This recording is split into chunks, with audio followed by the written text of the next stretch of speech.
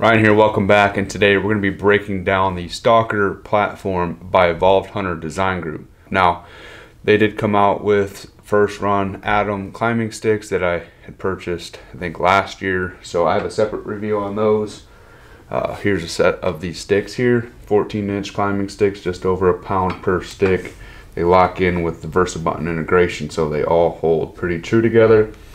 And uh, just through that, I went ahead and purchased their standard uh, platform. Now, this is offered in two different sizes. This is, again, the standard, and then they have a large. So, what you're seeing right here is the platform. Uh, it's machined from 6061 aluminum. Price point on this is at 220 bones and uh, comes in at two pounds nine ounces believe it or not so um, just the value alone for what you get out of this kit is pretty solid because um, you do see some higher tiered price platforms uh, in that 250 and above range. Uh, and what you get from a quality standpoint and design is, is pretty solid in my opinion. Now, this isn't the biggest platform, uh, but overall the footprint is very close in total square inches to the uh, Predator platform. Very, very similar uh, in size, uh, but comes in at a less weight for just a little bit more money. You're talking about 30 bucks more here for, for getting something fully machined versus cast.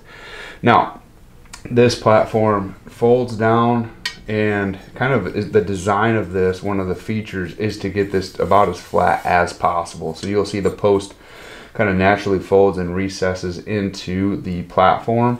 Now it does have uh, the button on the adjacent side that kind of comes out. So there is that. I'm not sure if that's a pro or con yet, but in order to get that to fold as flat as possible, uh, that's kind of the, the outcome here is, is the button does come in on the other side. But overall, very flat, low bulk platform that also allows your sticks to fully nest and integrate. So here's a kit that I've kind of been playing around with, the atoms and the uh, platform here. Now just the size and uh, footprint on this, I have this paired with I'm sure everyone has them floating around in your garage or pole barn or whatever, but they're those rubber bungees uh, with the two hooks on them. And there's machined holes on the bottom side. And all I did is hook the hooks through, they fit perfectly. And uh, I just take that bungee and loop it up right over the top of the Versa button that pops out on that back side of the platform. And it holds these sticks and locks everything in place and it just makes it very easy to handle um, you know to kind of prevent that metal to metal contact. Obviously I don't have stealth strips on this but um, it just locks everything in in place. And uh, because this is pulling on the Versa button it's also pulling the post in to the platform. So this isn't going to jar or, get loose or, or want to rattle. So literally locks in the platform and these sticks and you can just take this whole back and just lay it right on the, the backpack and you could probably throw one cam buckle strap over this whole setup and off you go. So you don't have to manage sticks independently put them on each side of the backpacks find somewhere to put your platform. You can literally just toss all of this right on. I mean you could even walk out with this. Um, I had a similar setup I did with the the CFX and the Latitude Latitude Carbon uh, series uh, sticks, and uh, this is a very similar approach to just a neat little kit that you can pack and take with you, and uh, it, it should do the job as far as getting in, getting out, small footprint with the use of a, a, small kit with these sticks and, and, platform. Now, I don't know if these sticks will do well on the other platform. It might be a little bit wider, maybe it's just a little bit longer. I'm not sure. Um, but I'll, I'll get into that review at a later time on the larger platform. But overall, sub seven pounds for three sticks and a platform. I don't think that you're going to be able to, to do wrong here with this kit.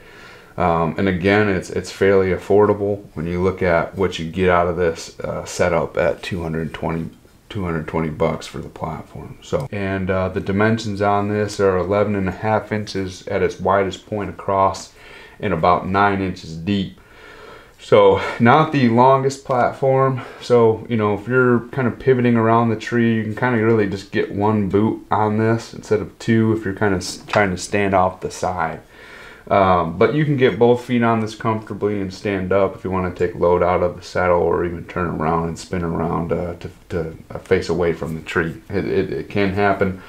Um, we're going to talk about some of the pros and cons on this. Clearly, weight, price point, feature rich. Uh, they're all good discussion points. Let's go into uh, the traction here really quick. Now, this traction is extremely just sharp. Um, it, it, doesn't have any soft edges. It is gonna it's gonna bite onto your boot, and uh, I know just pivoting and working around this for quite some time, it, it, does hold one of the better platforms for handling side pressure as well. Um, and maybe that's just given the uh, design here, and but you also get these nice big surface areas for leveraging your boot and placement around it to just pivot and work around the tree. So outside of that, it does have some portholes that you can see. And then uh, when folded down, you'll actually see the adjustment knob is actually located on the back. So this is where you're gonna have to make adjustments here. Now the placement of this isn't really ideal. Um, so if you were to make any adjustments or fine tune adjustments after the word afterward, you kind of have to get out of the platform, get out of the you know, on your climbing stick and make a fine tune adjustment, but you're really going to have to do that regardless of whatever platform you go with. It doesn't have an adjustment dial or knob, so for this, this is a first run platform. Uh, I've spoke with Chad. He's going to be adding a dial on this just to make it a little bit easier, not as cumbersome to make an adjustment here. Uh, feedback on that was just wearing gloves and stuff. It kind of made it a little bit more difficult. So that'll be getting updated.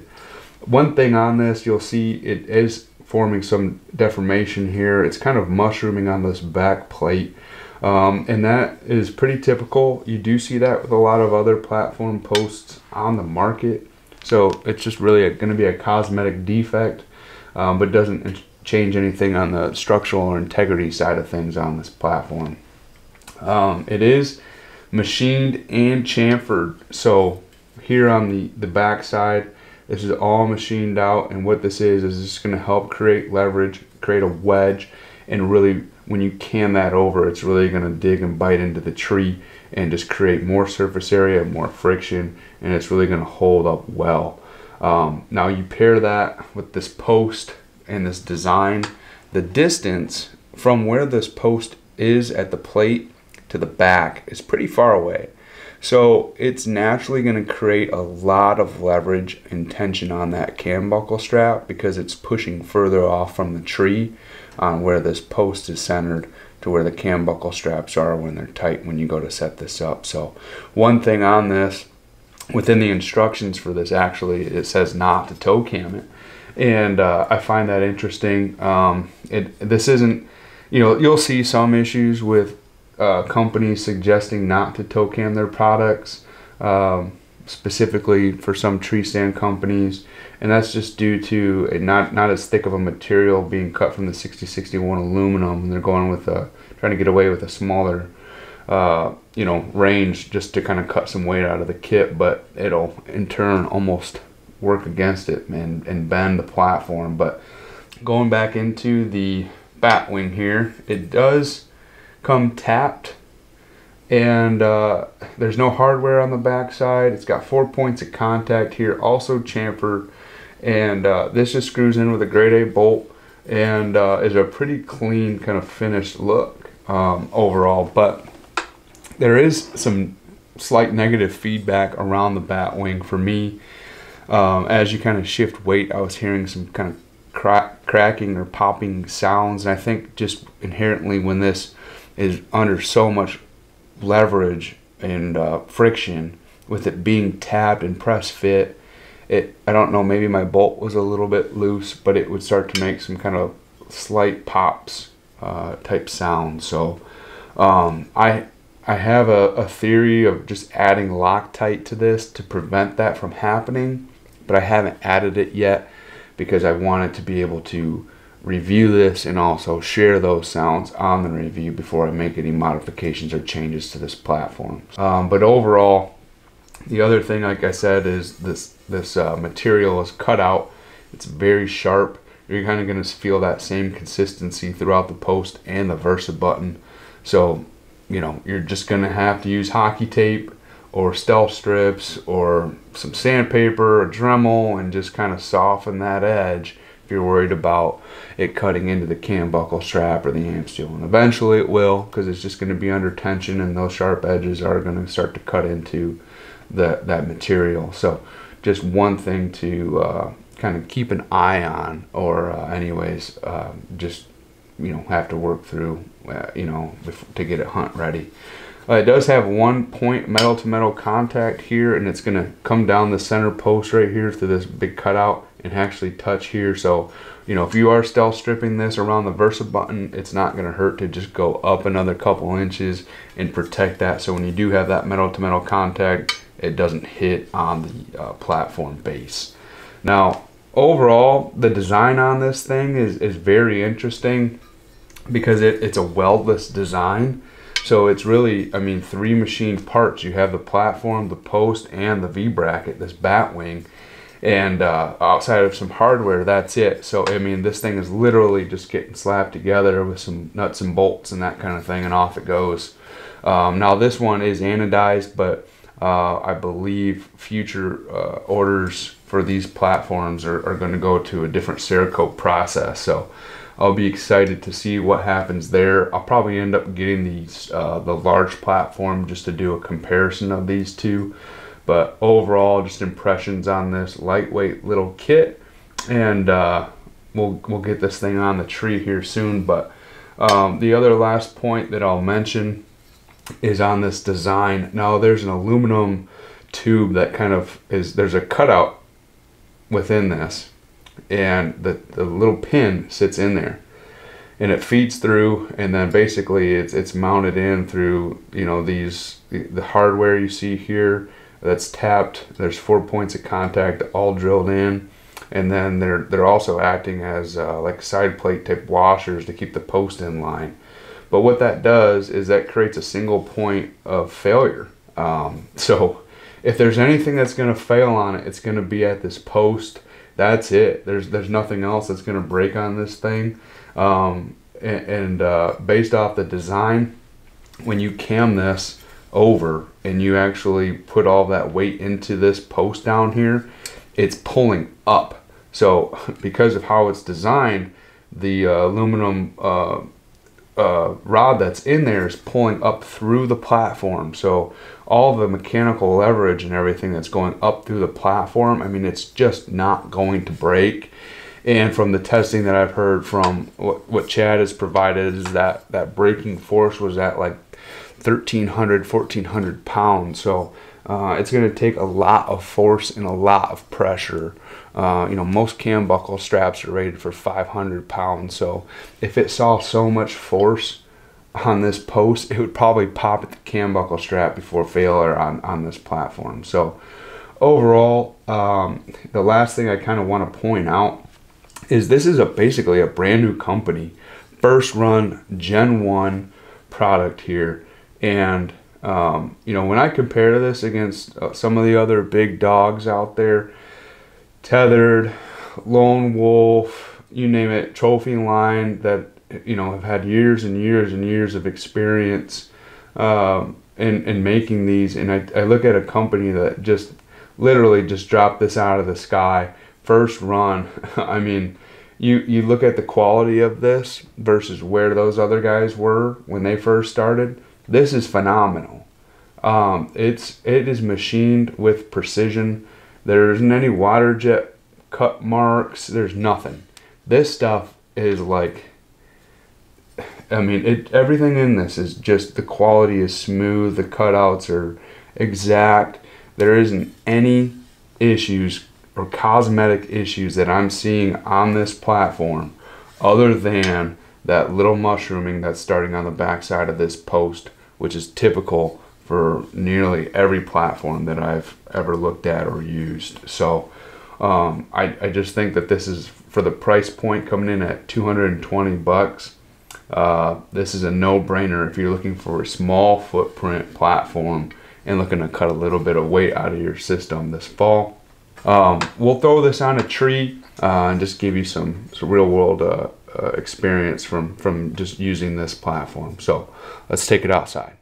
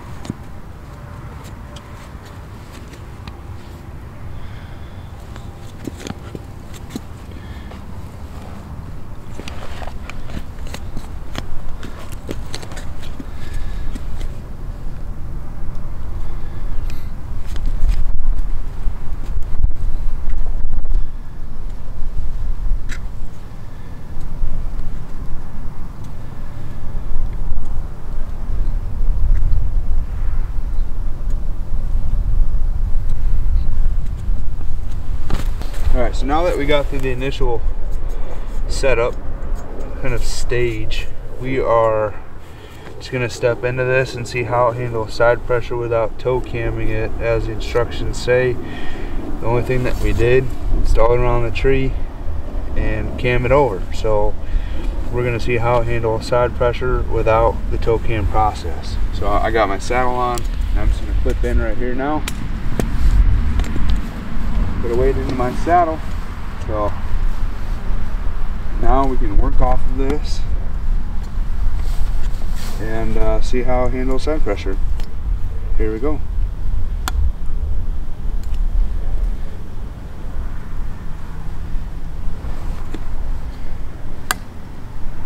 You hear that little click in there?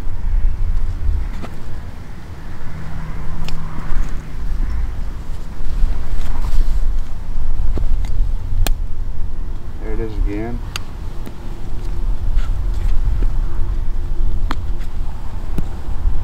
Got my knee on the tree.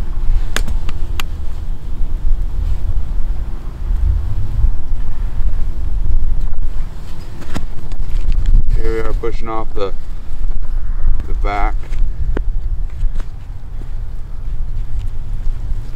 a little bit of wiggle and, and jiggle, but it's like the leverage of tension that that platform poses onto that strap really does a good job at putting a lot of tension into this. So it does like I said this is one of the better platforms for handling side pressure in my opinion.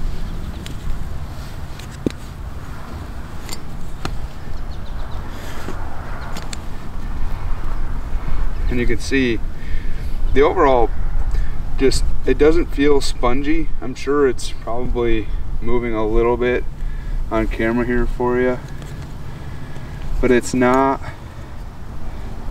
horrible at all. It's actually with the design it's I mean it's wider and not as long. So it, I think it's just gonna do better because just the distance away from the tree is pretty minimal.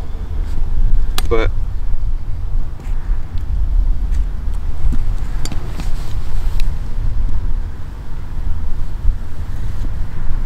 not trying to jump on this or pulse or again do anything malicious. We're just this is again going back to standing on this platform without it being toe cammed so this is pretty solid. So if you want to toe cam it, go for it. I'm gonna do it right now, just so we'll see if there's a, a big difference. So I'm gonna toe cam this, even though it says not to. Folks, don't do this at home. I'm doing this for your guys' pleasure probably voiding the warranty as we speak. Um, yeah, it won't even let me. That is intense. So it's just it's doing a really good job at biting into the tree. Uh, that's some serious pressure right there. I'm gonna try with this one. There it goes. All right, so we got it up. And uh, I'm just apply a lot of force into this.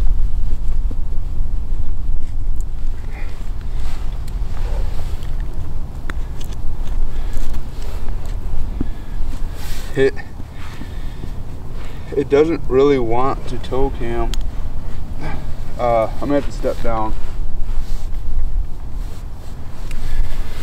This might just be a testament to just, again, the, the amount of leverage that's being displaced. Uh, it's just not going to allow you to toe cam it if you have the strap completely tight to the tree. I could probably loosen this a little bit, which would allow me to toe cam it, but again, I think it's just proving the point that you don't have to toe cam this platform at all. But you'll see what I'm doing when I set this is uh, I'm pulling up and then camming it over so that this strap tries to stay as parallel to the platform. You don't want it going up towards this bat wing. So these teeth in here are just, they're biting exceptionally well. Everything is in here. So I'll show you guys a, uh, a close up here of, of what I'm seeing. So I'll, I'll go ahead and do that now those teeth are just wedging themselves in there that chamfered edge just burying in. And then uh, we'll see if we can get down in there. Those chamfered teeth looks like about two points of contact on each side. And uh, it's just doing a, a really good job there at maintaining that leverage. Yeah outside of that um, you know that's the feedback I have on this platform is it's overall I think it's a good quality platform from a company that's just come out and uh, I think they got a lot to offer and bring to the table as far as uh, just the overall um, design, the quality that you're going to get, and uh, the price point and, and, weight is a no-brainer for me. Um, and not that it's always about weight, but it's just a very awesome little machine kit that you get and uh, I don't think you could go wrong buying this uh, platform. Now you might, one thing to note on that Loctite deal uh, were the popping sounds that I was hearing on this. Uh, Chad is also adding Loctite to all the future uh, platforms, so which uh, will help reduce or mitigate any of those sounds that I was hearing on this first run batch. So again, this is kind of like early feedback on a, a, Gen 1 product, but there's not much here uh, as far as negatives are concerned. Um, so definitely worth checking out, and uh, we'll catch you on the next one.